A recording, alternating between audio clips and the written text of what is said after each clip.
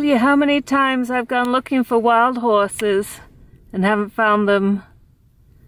And then I'm just driving along the road and there they are.